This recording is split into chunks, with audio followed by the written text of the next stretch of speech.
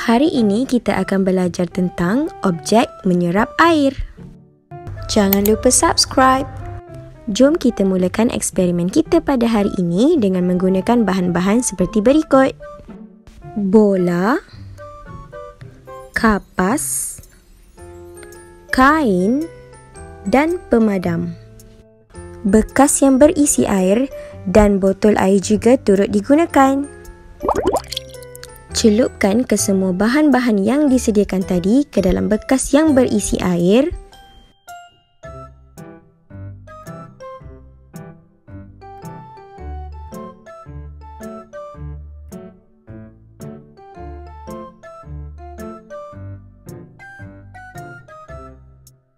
Kemudian, perahkan kesemua bahan-bahan tadi ke dalam botol air.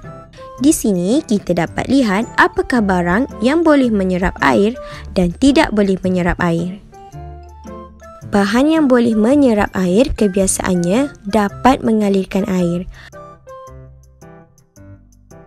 Manakala bahan yang tidak dapat menyerap air tidak dapat mengalirkan air seperti pemadam ni.